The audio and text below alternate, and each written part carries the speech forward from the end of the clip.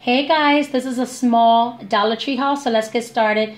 I just went over there to grab some more of this maple sausage that I usually buy for breakfast and stuff for the next day. So I just needed some more of this maple sausage, so I went to pick that up at the Dollar Tree. Just picked up two bags of the chicken breast patties. And when I went over there, they had a lot of good movies. I saw James Bond, I saw Psycho, a lot of different um, different kinds of DVDs, but I ended up picking up these two. And this is a triple feature uh, on Blu-ray, and one's called The Missing Link, and is starring Antonio Banderas. I have Donkey X, whatever that is. They look cute. And then Disco Worms is like a cartoon, but these are for young kids. I like um, these kind of movies because they're so cute. Then my son found this movie. It's called Robo Rex, and it's like a robot dog. And I guess he's real, and it's like some kind of fun adventure.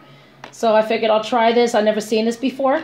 And that's it. So that's what I picked up at the Dollar Tree. Go check out the Dollar Tree. They do have a lot of movies um, and stuff going on over there now. And they also have sriracha uh, ketchup and some Asian um, food items and things like that. But anyway, I just picked up these. So I just wanted to share them. Thanks for watching my videos and stay tuned for more. Bye.